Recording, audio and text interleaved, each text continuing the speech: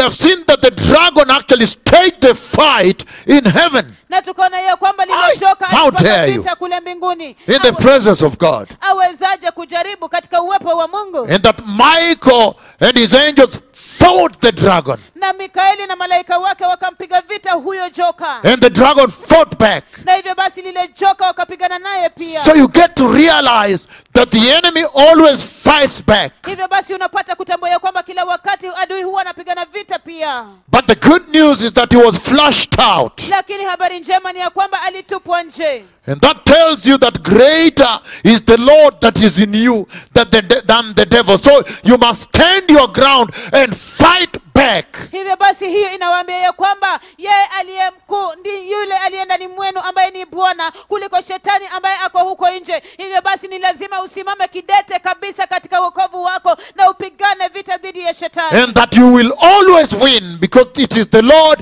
doing the battle. The battle belongs to the Lord. na ya kwamba kila wakati utashinda kwa maana ni bwana ambaye anafanya hivyo vita anapigana hivyo vita vita ni vya bwana